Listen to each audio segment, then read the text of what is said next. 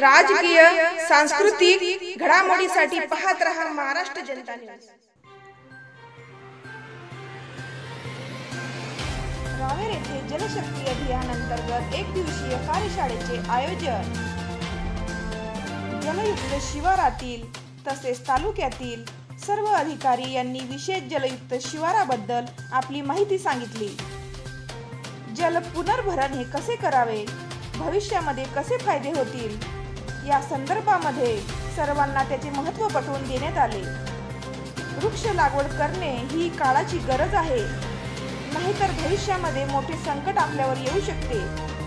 झाडे कमी झाल्यामुळे प्रदूषण वाढले. त्यामुळे आपण झाडेही लावली पाहिजे. संगोपन केले पाहिजे. या संदर्भामध्ये सर्व तालुक्यातील जलशक्ती अभियानाअंतर्गत यावल व रावेर या ठिकाणी कार्यशाळा घेण्यात आली. कार्यक्रमास जळगाव जिल्ह्याचे जिल्हाधिकारी अविनाश डाकणे नामदार हरिभाऊ जावडे जळगाव जिल्ह्याच्या खासदार रक्षाताई खडसे जळगाव जिल्हा परिषद उपाध्यक्ष नंदकिशोर महाजन प्रांत अधिकारी डॉक्टर अजित थोरबोले रावेरच्या तहसीलदार उषा राणी देवगुणे तसेच रावेरच्या B D O Sonia Nakade Madhuri Nemade Bharatiya Janata पक्षाचे जळगाव जिल्हा उपाध्यक्ष श्री पद्माकर महाजन श्रीकांत महाजन व भारतीय जनता पक्षाचे सर्व पदाधिकारी सरपंच उपसरपंच पोलीस पाटील व सर्व पंचायत समिती कर्मचारी वन विभाग कर्मचारी या कार्यक्रमास उपस्थित होते.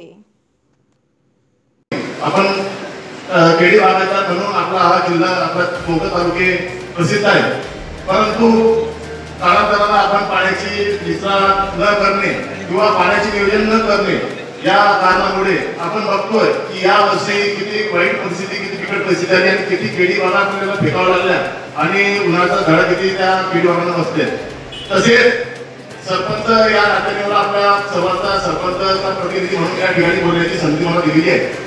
तर या बाबतीत सांगत असताना आपला सरपंच म्हणून आपल्यावर जी जबाबदारी असते गावाची. तर केंद्र शासन किंवा महाराष्ट्र शासन किंवा जिल्हा परिषद यांच्याकडून विविध योजना आपल्याला राबवित राबवित असताना ती योजना प्रत्यक्षात राबवण्याची जबाबदारी आपल्या सरपंचांची असते. जर सरपंचांनी आपल्या सर्व सरपंचांनी मनावर घेतलं तर आपण सर्व काही अशक्य गोष्ट शक्य करू शकतो. हा आजपर्यंतचा इतिहास आहे. आणि आपण बघतोय की जर आज रोजी मला इथे माहिती असं माहिती माहिती कळाली की ग्रामसेवकांनी सध्या सर्व कामांवरती बहिष्कार बहिष्कार टाकलेला आहे.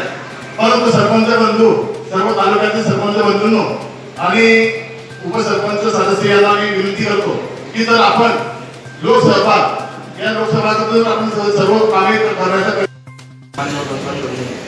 खरं तर बरीच चर्चा झाली आहे. मला असं वाटतं की आता प्रत्यक्ष काम करण्याची वेळ आली. कारण चर्चा आपल्याला सर्वांना पाण्याचं महत्त्व माहिती आहे. जसं जसं केळीच्या बागा कमी झाल्यात याच्यातच महत्त्व समजायला पाहिजे.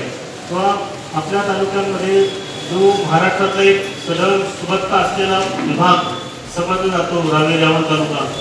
तरी केलेले आहेत आणि म्हणून मी आपल्याकडे एवढी विनंती करणार की मित्रांनो यावर आणि कागद तालुक्याची निवड का झाली? याचा जर गांभीर्याने विचार केला तर तो महा मला सर्वांना मिळतो या जलशक्ती अभियानामध्ये जळगाव जिल्ह्यात फक्त यावरची निवड झाली. देशात प्रधानमंत्री आदरणीय नरेंद्रजी मोदी यांच्या स्वप्नामधून यांच्या याच्यामधनं संकल्पनेमधनं एक जलशक्ती अभियान सुरू झालं. अत्यंत मायक्रो प्लॅनिंग आपण आपण पाहतोय.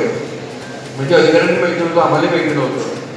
पण ज्यावेळी तिथे वेळ सुरू झालं पहिल्या दिवशी एक दिल्लीचे अधिकारी आले नंतर दुसऱ्या आठवड्यात अधिकारी आले.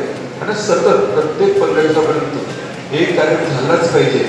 आणि आज त्याची सुरुवात म्हणजे तुमच्या सर्व रूट लेवलला काम करणाऱ्या सरपंच आणि उपसरपंचांपर्यंत कार्यशाळा असावी असा मुद्दे एवढ्या निवडणूक तुम्हाला इथे बोलवलेला आहे.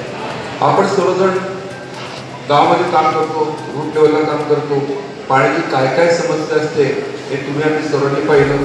ज्यावेळेला शेतामध्ये बांध टाकणे शेतातल्या पाण्याचं व्यवस्थितपणे नियोजन करणे रेन हार्वेस्टिंगच्या माध्यमातून परत ट्यूबवेलमध्ये किंवा विहिरीमध्ये जे जास्त वाहून जाणारं पाणी आहे ते टाकणे हे आपल्या हातातल्या गोष्टी आहे की जेणेकरून प्रत्येक व्यक्ती प्रत्येक शेतकरी हे आपल्या शेतामध्ये गावामध्ये आपल्या घरी या सगळ्या योजना करू शकतो. की किमान येणाऱ्या उन्हाळ्यामध्ये की त्याच्या पुरतं पाणी तरी त्याला वापरता येईल एवढी व्यवस्था शेतकरी हा प्रत्येक नागरिक करू शकतो. पण त्याच्यासाठी आपल्याला स्वतःला पुढाकार घ्यावा लागणार आहे. हा कार्यक्रमाचा तेवढाच उद्देश आहे की जनजागृती करणे आणि सिरियसली होऊन ह्या सगळ्या कामांना आपण सगळ्यांनी आता हातभार लावायची गरज आहे. कारण की मागच्या अनेक वर्षापासनं सरकार सरकार कोणाचंही असो पण अनेक वर्षापासून हे मोहीम राबवलं जात आहे की पावसाळा आला की झाडं लावा रेन हार्वेस्टिंग करा. मला तरी असं वाटतं की आपण शाळेत जात म्हणजे जात होतो. तेव्हापासून रेन हार्वेस्टिंगच्या गोष्टी आपण ऐकतोय. पण आजही एवढ्या वर्षानंतरही आज जर आपण परिस्थिती बघितली तर पाणी फिल्टर होऊन जमिनीकडे जातं आणि भूजल पातळी वाढते. नेक्स्ट त्याच्यामध्ये सगळ्यात अजून मगाशी सांगितल्याप्रमाणे पाण्याची जमिनीची पाणी भरून ठेवायची जी क्षमता आहे किंवा जमीन सचित्र किंवा पूरच ज्या गोष्टींनी होते ते म्हणजे झाडामुळे म्हणून वृक्ष लागवड आपण स्वतःहूनही करू शकतो. याच्यामध्ये आपण नरेगामधून मनरेगामधून म्हणजे रोजगार हमी योजनेमधूनही आपण घेऊ शकतो. हे देखील आपण जास्तीत जास्त स्वरूपात करायला पाहिजे. शासनाकडून आपण आता तेहतीस कोटी वृक्ष लागवडी अंतर्गत आपल्या जिल्ह्यामध्ये बऱ्याच प्रमाणात